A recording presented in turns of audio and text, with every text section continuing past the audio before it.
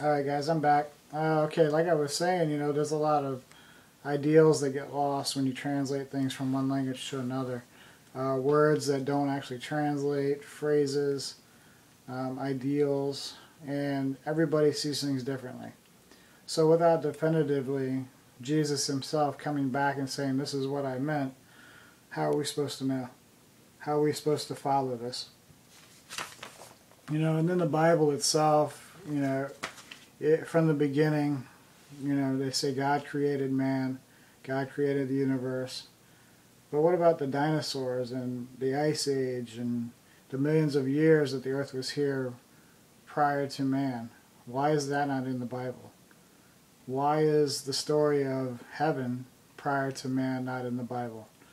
You know, Lucifer was a fallen angel that got power hungry, but he's the one who tempted Eve in the garden. So there's a lot of story missing about heaven itself and where God came from and where the angels came from and there's a lot of information we wasn't given. So how are we supposed to feel confident when we don't know the whole truth? How are we supposed to make a wise decision without the knowledge?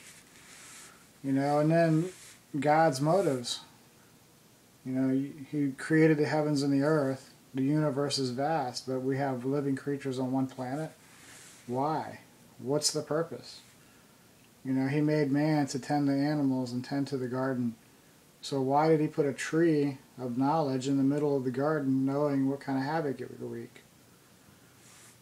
You know, it says that our lives are written in the book, that before we're born, God knows what we're going to be doing in our lives and where we're headed. So if he knows we're not living up to his expectations, then why let us be born at all? What's the point? You know, if we're just going to be put in hell or we're going to live eternity in damnation, then why create us? Why create the human race if we're not going to live up to what he wants? And why would you have people brought forth just to feed your ego? Because it makes God sound like an egomaniac. He just wants people to praise him all day long because he created something. Um, well, I'm sorry, but I didn't ask to be created. So why should I praise you? My life hasn't been, you know, a bed of roses. There's nothing to praise you for.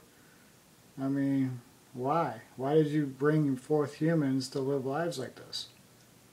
And why did you bring forth all of this drama and tragedy in their world? You know, why did you bring forth this tree that would cause so much pain and agony and misery? Just, you know, don't create us. You know, don't bring us forth. I mean, that's my feeling. If you're just going to bring us forth to, you know, praise you, you got the angels for that. Leave us out of it. And then there's these Bible scholars and preachers predicting when Jesus will return. Well, any idiot that's read the Bible knows Jesus said very clearly in the Bible, You will not know the day of my return, only the Father knows. So if you're following one of these guys, you're an idiot. Go read your Bible. That's the end of that conversation, okay? Um, let me see. Now I'm looking at my cheat sheet here because I'm just trying to figure out if I'm missing anything. Um, you know, I don't know. I think I've said enough about that. But basically, you're going to have to make a decision for yourself what you believe and what you don't believe. You know, read all the controversy about the Bible. You know, the Bible's written by man, the Bible's put together by man, and it's interpreted by man. So what are we supposed to believe? Now they say the Bible is full of prophecies and all the prophecies have come true except for Revelation so far. Well, why is that? Why hasn't Revelations come true so far? And did these prophecies really come true? Or did man write it in as they came true so we would believe the Bible? How do we know for sure that these events actually took place the way they were predicted to take place? We don't know. And there's a lot of artifacts from the Bible that stood out that we should be able to find. The Ark of the Covenant with the tablets in it. Noah's Ark. This boat was huge. Why can't we find it? I mean, seriously, people. He created this boat out of the heaviest wood he could find. and it was huge. So where's it at? Why can't we find it? I don't know. I would love to see the ark. Wouldn't you love to see the ark just come floating down the street one day? Come on, people. If this is true, let's find the ark. Let's find the Ark of the Covenant. You know, there's so much in religion that we need to find about. And until we get definitive proof, how are we supposed to know what to do?